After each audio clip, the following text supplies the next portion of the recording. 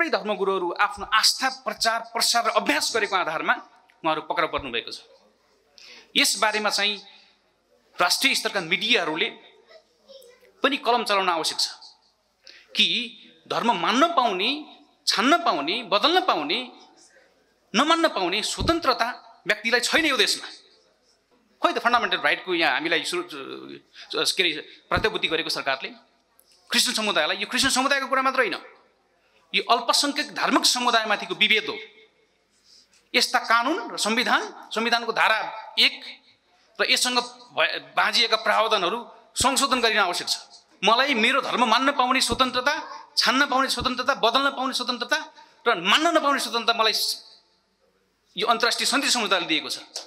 र संविधानको धारा छब्बिसले चाहिँ बदल्न पाउन नपाउने कानुनको व्यवस्था गरिएको छ। भनेपछि यो देशमा चाहिँ वाक स्वतन्त्रताको हनन भएको छ।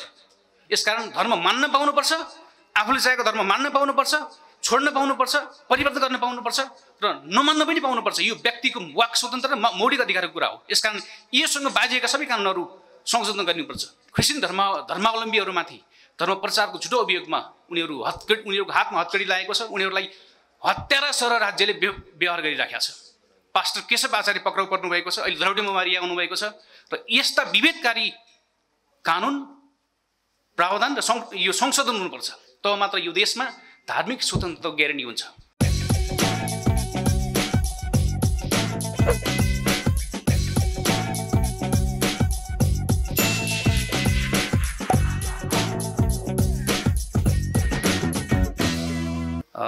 माफ र नेपाल प्रेस सोसाइटी र केही क्रिस्चियन मिडिया कर्मी साथीहरूको संयुक्त आयोजनामा आयोजित यो क्रिसमस शुभकामना आदान प्रदान कार्यक्रममा पाल्नुहुने प्रमुख अतिथि विशिष्ट अतिथि र अतिथि गणहरू र केही हाम्रो आदरणीय सम्माननीय एकजना कलाकार पनि हुनुहुन्छ हामी हाम्रो बिचमा। अहिलेसम्म श्रुतिको अन्तिम समयसम्म बसिराख्नु भएको छ। केही श्रद्धेय पत्रकार साथीहरू र हाम्रो आदरणीय व्यक्तित्वहरू हुनुहुन्छ। यहाँहरू सबैलाई विशेष गरी आयोजकको तर्फबाट हामी धेरै धेरै धन्यवाद दिन चाहन्छौँ र क्रिसमसको धेरै धेरै शुभकामना पनि हामी व्यक्त गर्न चाहन्छौँ। र जति हाम्रा आमन्त्रित पाहुनाहरू आफ्नो कार्य व्यस्तताको बावजुद पनि आइदिनु भयो हामी तपाईँहरूलाई पनि आयोजकको तर्फबाट धन्यवाद दिन चाहन्छौँ। तपाईँ हामीले क्रिसमसको चर्चा र यो यो सन्दर्भमा हामी यसरी यहाँ सामूहिक रूपमा भेला भएर क्रिसमस मनाइरहँदाखेरि तपाईँ हामीलाई थाहा छ केही दिन अगाडि एकजना क्रिस्चियन धर्मगुरु धर्म प्रचारको झुटो अभियोगमा पक्राउ पर्नुभयो।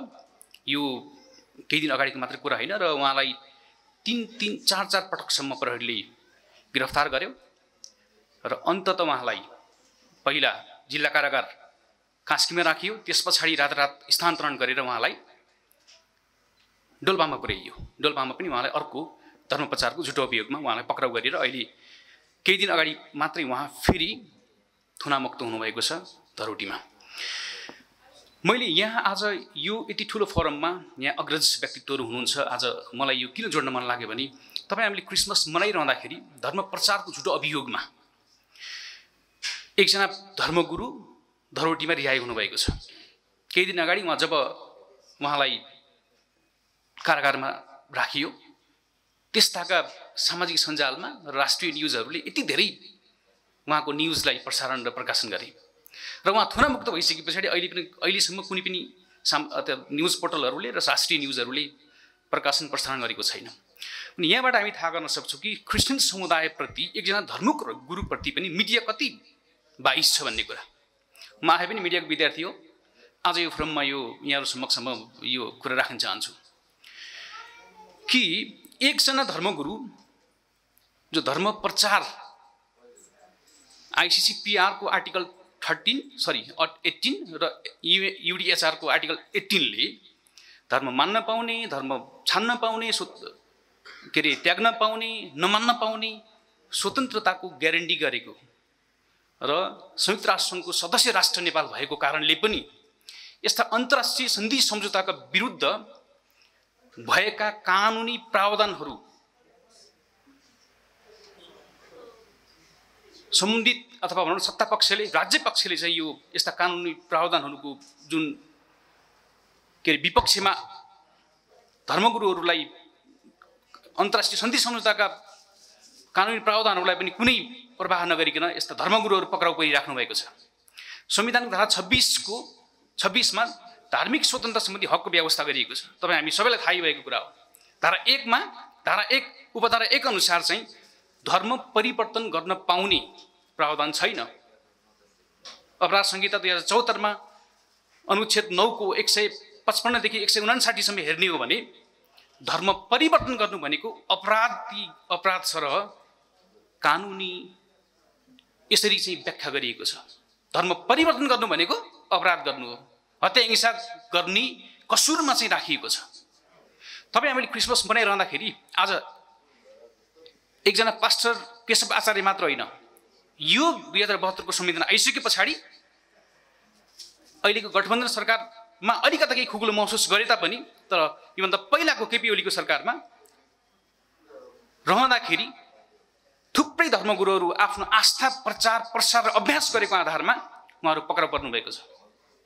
यसबारेमा चाहिँ राष्ट्रिय स्तरका मिडियाहरूले पनि कलम चलाउन आवश्यक छ कि धर्म मान्न पाउने छान्न पाउने बदल्न पाउने नमान्न पाउने स्वतन्त्रता व्यक्तिलाई छैन यो देशमा।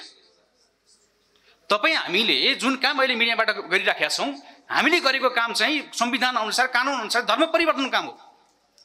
यदि कसैले उजुर गरिदिएमा तपाईँ हामी मिडियाकर्मी साथीहरू पनि अहिले हाम्रो हातमा हतकडी लाग्न सक्ने सम्भावना प्रबल छ। यसकारण यो कानुन चाहिँ क्रिस्चियनहरूको मात्र होइन कि धार्मिक स्वतन्त्रता र मौलिक हकको विपक्षमा छ धर्म मान्न पाउनु भने त मौलिक हकको कुरा हो नि खोइ त फन्डामेन्टल राइटको यहाँ हामीलाई सुरु के अरे प्रत्याभूति गरेको सरकारले क्रिस्चियन समुदायलाई यो क्रिस्चियन समुदायको कुरा मात्र होइन यो अल्पसङ्ख्यक धार्मिक समुदायमाथिको विभेद हो यस्ता कानुन र संविधान संविधानको धारा एक र यससँग बाँझिएका प्रावधानहरू संशोधन गरिन आवश्यक छ म एउटा क्रिस्चियन मिडिया पर्सन भएको हैसियतले पनि यहाँहरू समक्ष यो राख्न चाहन्छु कि म यो देशको नागरिक पनि हो। मलाई मेरो धर्म मान्न पाउने स्वतन्त्रता छान्न पाउने स्वतन्त्रता बदल्न पाउने स्वतन्त्रता र मान्न नपाउने स्वतन्त्रता मलाई यो अन्तर्राष्ट्रिय शान्ति समुदायले दिएको छ। र संविधानको धारा छब्बिसले चाहिँ बदल्न पाउन नपाउने कानुनको व्यवस्था गरिएको छ। भनेपछि यो देशमा चाहिँ वाक स्वतन्त्रताको हनन भएको छ। वाक स्वतन्त्रताको हनन भइरहेको अवस्थामा चाहिँ हामी चाहिँ मिडियाको कुरा गरिराखेका छौँ हामी एडभोकेसीको कुरा गरिराखेका छौँ हामीले हाम्रा वाक स्वतन्त्रताको स्वतन्त्रताको कुरा गरिराखेका छौँ हामी लेख्न पाउनुपर्छ बोल्न पाउनुपर्छ हाम्रो अभिव्यक्ति स्वतन्त्रताको कुरा गरिराखेका छौँ भने यो अवस्थामा चाहिँ अहिले नेपालमा भएको अल्पसङ्ख्यक धार्मिक समुदायमाथि यसरी राज्यले विभेद गरेर कानुन र के अरे ऐन ल्याएर चाहिँ धर्मलाई क्रिस्चियन समुदाय क्रिस्चियन धर्म धर्म सम्प्रदायमाथि चाहिँ विभेद गर्न खोजिएको छ।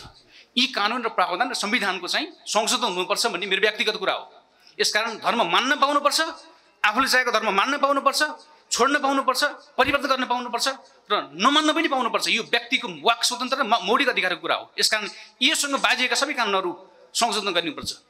तब मात्र यो देशमा चाहिँ नेपाली अल्पसङ्ख्यक क्रिस्चियन धर्म के अरे धार्मिक समुदायले आफ्नो धर्मको अभ्यास आफ्नै आफूले चाहेको आस्था अनुसारको धर्मको अभ्यास गर्ने स्वतन्त्रताको ग्यारेन्टी तब मात्र हुनेछ। यसकारण चाहिँ हामी क्रिस्चियन हामीले क्रिसमस मनाइरहँदाखेरि आज सत्तापक्षले र राज्यले विचार गर्नुपर्ने कुरा के हो भने अल्पसङ्ख्यक धार्मिक समुदाय विशेष गरी क्रिस्चियन धर्म धर्मावलम्बीहरूमाथि धर्म प्रचारको झुटो अभियोगमा उनीहरू हत्कडी उनीहरूको हातमा हत्कडी लागेको छ उनीहरूलाई हत्यारा सर राज्यले व्यवहार गरिराखेको छ।